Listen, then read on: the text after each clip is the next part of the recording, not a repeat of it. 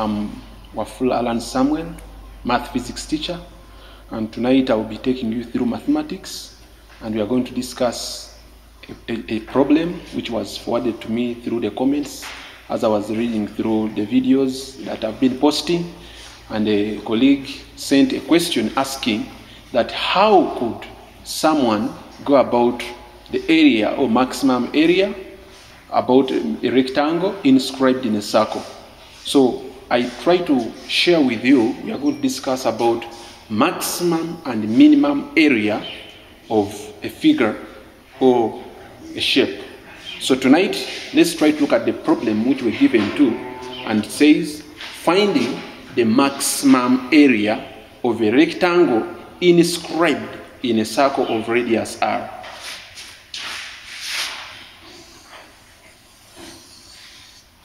So when I try to sketch, this is our circle, and our circle, we know it has a radius r, but we have been given a rectangle which is inscribed, meaning that it is inside.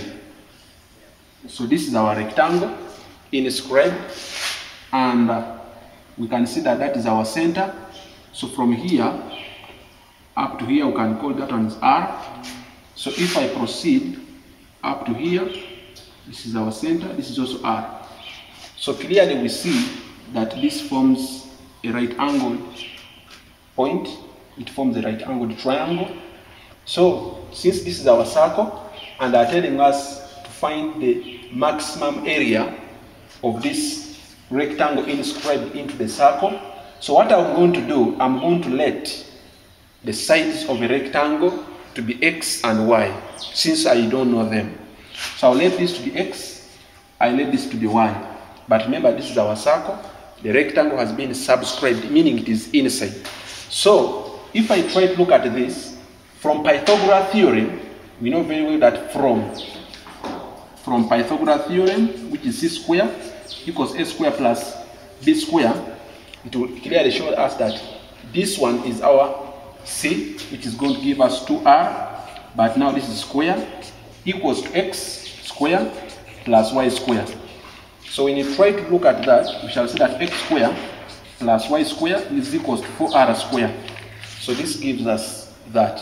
But remember, I can either make y or x the subject. So let me try to make y the subject. You find that y square is equals to 4r square minus x square. Meaning that our y is a square root. Taking the positive side, it will give me 4r square minus x square and that is the value of y. But remember, if this is a triangle, area of a triangle, it is always length times width, length times width. And our length here is y and our width is x, which is going, to give us xy. So I will take my area to be xy. But remember they're saying, what would be the maximum area of this rectangle subscribed or inscribed inside the circle? We know that our area is equals xy and we have just got y in terms of x so I'm going to substitute in where there is y and I would say that area is equal to x that is root of 4r square minus x square. So that is just our area but remember they are telling us to get the maximum area. So for us to get the maximum area we know very well we have to differentiate the area with respect to the variable. So and here our variable is x because here x will be changing, y will be changing. Whereas the radius of the circle is always constant. It will not change.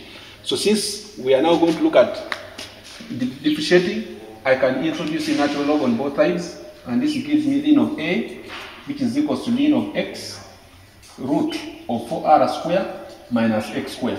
So when I simplify before I differentiate, this will give me ln of x then plus, if you try to see, this is the ln of 4r square minus x square, but this is the raised to power half, which you can also still simplify it as ln of a, which is going to be ln of x, then plus a half, then ln of 4r square minus x square.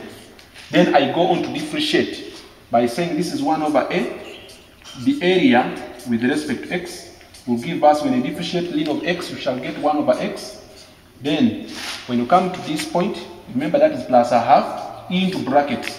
When you differentiate this, 4r squared is a constant, and when you differentiate a constant, you get a zero, So when I differentiate negative x square, we shall get negative 2x over, which is the 4r square minus x square. So when you try to see, this gives us 1 over a, the area, the x, which is going to give us 1 over x. Then this 2 reduce that, which is going to give us minus x over 4r square minus x square. So that is what we shall have there. Then we are going to simplify or harmonize it.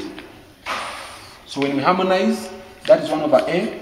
The area, the x, will give us, that is 4r square minus x. Then minus, remember that, minus x square. Everything over 4r square minus x multiplied by x.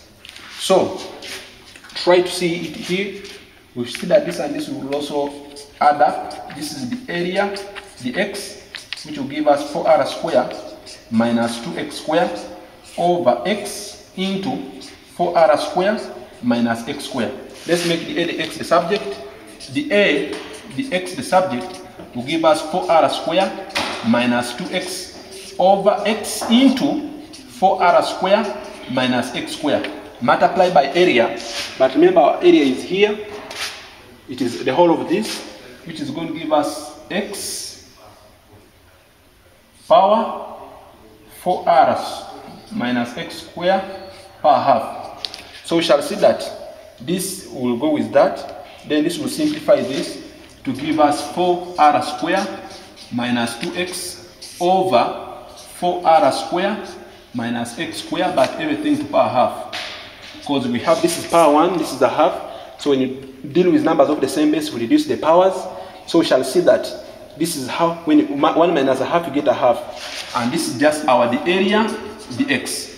Then we know very well that for maximum or minimum area, we shall differentiate and say the area, the x will give you 0 for max for maximum area. So therefore, we shall have it to it that it is 4r square minus 2x square, which is going to give us a 0.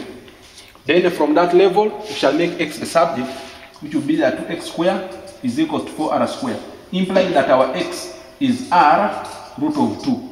So we have got the value of x, but we know we are not interested in getting x alone. We are supposed to get the maximum area. So therefore, after I've got the value of x, I'll go back and I substitute in to get the value of r. So when I go back to get the value of r, look at this. So we shall see that ry is equal root of 4r square minus, when I square this x, I'm going to get 2r square. So this is 2r square, which is going to give us, if you simplify, you're also going to get still r root of 2. This is what you shall also get. Because we shall get 2r square and when you get the square root of that, it will also be that. But remember, we're looking for the maximum area. So therefore, we shall say that A max is going to give us, we are going to get x, which is root of 2, r root of 2, multiply it by r root of 2. And this gives us 2r squared. And therefore, this becomes the maximum area of the rectangle enclosed or inscribed into the circle. But if I just said, find the maximum or minimum area, then that means that after we had gotten the value of x, then we will go back and then we differentiate it for the second time to test whether it will give us a maximum or minimum. How? If we had got a negative in the second derivative, it would therefore show us that it's a maximum area. Then if after substituting in we get a positive value, then it will show us that it is going to be a minimum area. But now for these cases, they have already told us it is a maximum area. We just need to concentrate on getting the value of x and getting the value of y. And that will be the value of the area, maximum area of the rectangle inscribed. Thank you so much for watching Tower Academic. For more questions, more inquiries, please put in your comment in the comment center section sorry i'm going to be answering all of them i remain alan samuel wafula math physics teacher